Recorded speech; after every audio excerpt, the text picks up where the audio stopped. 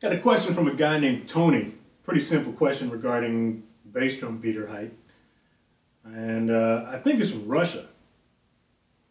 From what I'm seeing from the uh, from the signature on this email, I think it's from Russia. But anyways, um, he just had a basic question. He's just asking, do I prefer to adjust the beater so that it hits the center of the bass drum head, or is it more of a feel thing? I guess he wants to know how to adjust the height of his of his beater. Um, this really didn't require a video response, but I'm going to do it anyway because I just wanted to add some information to his answer. But generally speaking,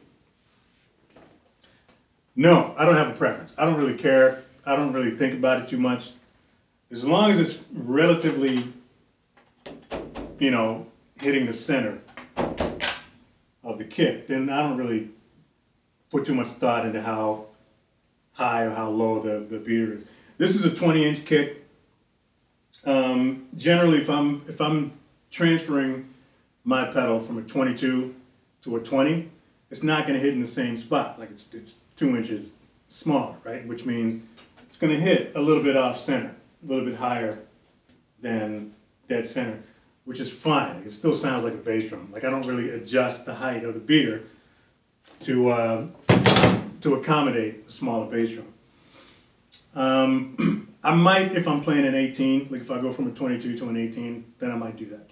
But if you're going to adjust the height of your beater, um, you should really be thinking more about the uh, the feel of the pedal itself. Because when you change the height of the beater, it's going to affect the feel, particularly um, if you're doing it in conjunction with the length of the throat.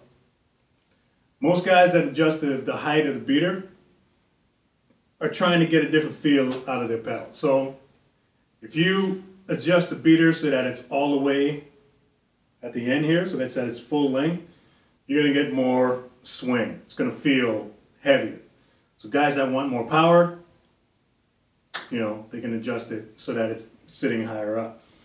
Um, they might also, like I said, in conjunction with um, adjusting the level of the throw, the further back you put it, the heavier it's going to feel, the more power you're going to get.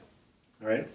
Um, and on the other hand, if you if you shorten it, it's going to feel a little bit faster because you're you're shortening the throw. So guys, metal players that use triggers, for instance, um, what they'll do is they'll adjust the beater so it sits a little bit closer to the head, and then they might, depending on who it is, they might shorten the length of the beater because again, it's just going to feel a little bit lighter.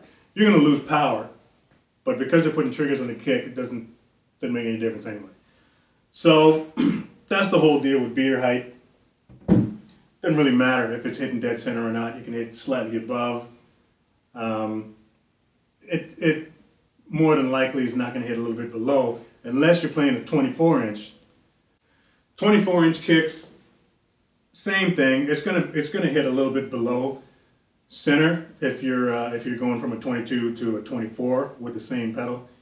You might want to just kind of raise it up a little bit so that it hits uh, a little bit more towards the center.